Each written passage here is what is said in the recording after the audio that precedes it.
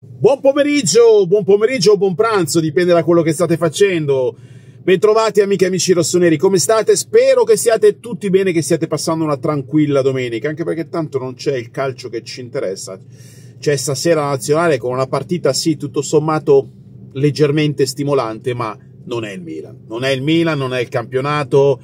E io sinceramente spero finisca presto questa bagarre, questa, questa continue nazionali ogni due per tre. Beh, in teoria dovrebbe essere finito perché poi l'appuntamento è rimandato a marzo. Però, detto tra noi, eh, in un mese, due soste da due settimane, cioè veramente troppo, troppo, troppo, troppo. Però il calcio fa soldi e i soldi chiamano idee nuove relative a quello che si può fare, che ci si può inventare, amici miei, no?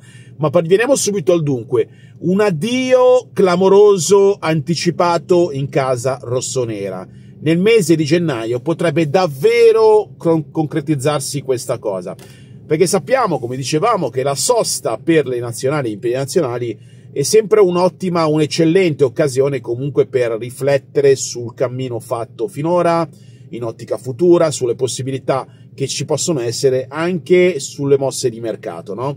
Gennaio è molto vicino e comunque il Milan deve fare almeno un paio di operazioni per completare la rosa ed essere comunque competitivo su tutti i fronti. Oltre alle operazioni in entrata, è molto probabile che eh, le sessioni invernali sia l'occasione giusta per provare a piazzare quelle, quelle eccedenze che la società non è, non è comunque riuscita a fare la scorsa estate. Uno di questi, uno di questi, ma non è lui, potrebbe essere davvero eh, Luka Jovic, ok, che ormai è fuori dal progetto del tecnico Paolo Fonseca. Non è lui quello clamoroso, ma adesso lo andiamo a raccontare, ma Luka Jovic per certi versi è clamoroso per quello che è successo, per la cattiva gestione fatta su questo ragazzo, tenuto eh, gli hanno dato la maglia numero 9, che comunque è una maglia per noi importante, poi essere accantonato e essere messo da parte e poi sul mercato. Ricordiamo che gli ultimi giorni di mercato estivo è, è, è stata anche l'occasione per provare a sbolognare Jovic. Cioè, sono, è un'operazione che io sinceramente è stato un modus operandi che io tuttora ancora non capisco, escluso anche dalle competizioni europee non ha fatto un minuto in campo. È incredibile la gestione di questo ragazzo. È veramente negativa, cioè, eh, qui qual quadra non cosa, come direbbe qualcuno al contrario. Ma tornando a noi, ci sono da valutare poi altre situazioni, ragazzi. I rossoneri sono comunque alle prese anche con la questione dei rinnovi. Eh, c'è chi è di molto molto vicino alla firma, come ad esempio Mike Magnan, e chi invece deve ancora comunque trovare un accordo per arrivare alla stretta definitiva, eh, come può essere comunque Teo Hernandez, che ad oggi non ha trovato ancora la quadra per il suo rinnovo, visto che chiede comunque il doppio dell'ingaggio, e il Milan il doppio dell'ingaggio non lo sborserà mai, almeno così sulla carta. Poi magari trova l'accordo e, e, e, e diciamo la quadra la trovano. E poi c'è anche chi non ha fatto alcun tipo di passo avanti per la firma è proprio lui, è il caso di Davidino Calabria, con il quale ad oggi non c'è una trattativa avanzata, ma neanche di base, con lui e con il suo entourage. In scadenza giugno 2025, lo sappiamo, è sempre più probabile che si arrivi alla scadenza del contratto. Attenzione però a quello che può succedere nel mese di gennaio.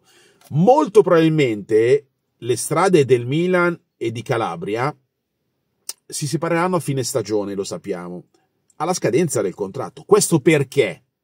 Perché Calabria per il rinnovo ha chiesto praticamente il doppio del contratto attuale.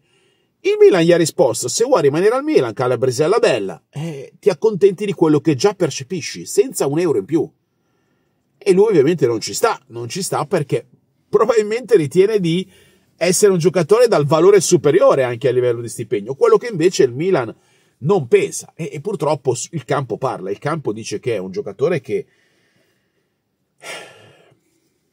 non è un grandissimo terzino, parliamoci chiaro, ha tante lacune, tante problematiche, ma voi pensate che in questo momento io ritengo che sia meglio di Royal da tanti punti di vista. Purtroppo Royal è stato un bidone, è stato un buco nell'acqua, per adesso, poi magari cambia, impazzisce, si rinsavisce e ridiventa quello visto al Betis, perché Royal al Betis ha fatto illuminare gli occhi a tantissime squadre europee. Ma tornando a Calabria, la, la, separazione può arrivare addirittura a gennaio, ragazzi, attenzione, eh? se dovessero arrivare delle offerte concrete. In estate ci aveva provato già il Galatasaray, ma Calabria non se l'era sentita. Se fra poco dovesse farsi avanti qualche operazione, offerta intrigante, Calabria potrebbe decidere di andare via in anticipo.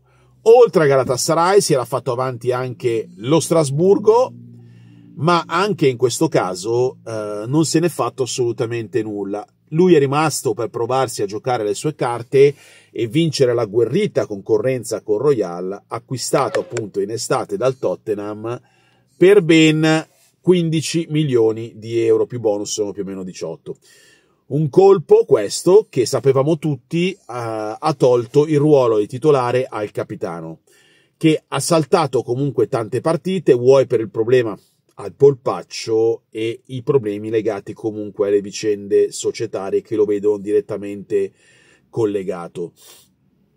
Eh, lui vorrebbe restare, ma le sue condizioni, eh, ma non c'è nessun segnale comunque per il rinnovo.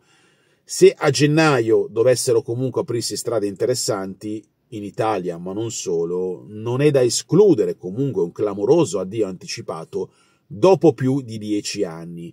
Lui è in rossonero, ricordiamo, da quando era solo un bambino, aveva dieci anni, ora ne ha eh, più o meno 27 se non sbaglio, no? E purtroppo questa è figlia, è, è, è figlia poi di una...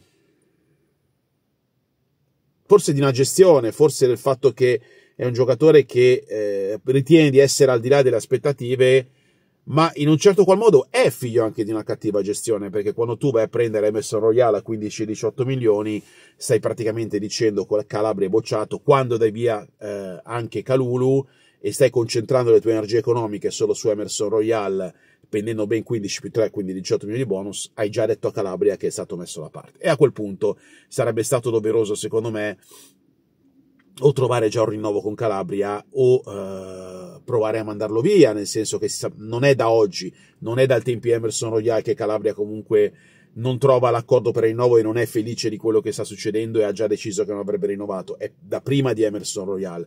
Quindi anche qui entra in gioco una cattiva gestione da parte della società a livello dei rinnovi contrattuali e io vi ricordo sempre che i cartonati dall'altra parte di Milano comunque tutto sommato nonostante possono essere tutto quello che volete ragazzi, possiamo eh, odiarli quanto volete, ma però a livello, ma però non si dice, però a livello gestionale, a livello di rinnovi, questi hanno fatto 6 rinnovi in 6 mesi, ragazzi. Oc3, il fondo, ha fatto 6 rinnovi in 6 mesi, il fondo.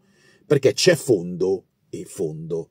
Ci sono i pezzenti, gli incapaci, e poi ci sono quelli che comunque, nonostante sia un fondo, nonostante sia americano, come, qualcuno, come dice qualcuno, sanno fare quello che devono fare e probabilmente hanno anche più ambizioni, ragazzi. Poi sta a voi capire chi è uno e chi è l'altro, ma non penso che sia difficile. Fatemi sapere cosa ne pensate, un abbraccio grandissimo, intanto vi auguro buona giornata, sempre comunque comunque Forza Milan, noi ci sentiamo più tardi e adieu!